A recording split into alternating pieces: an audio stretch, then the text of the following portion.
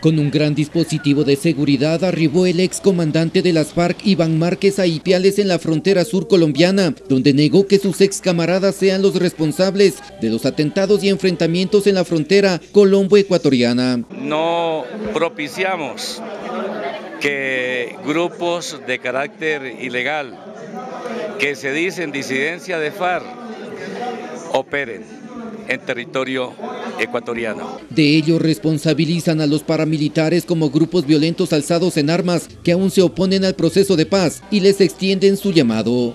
Los invitamos entonces a desarmar los corazones y a buscar la paz que tanta falta hace al pueblo colombiano.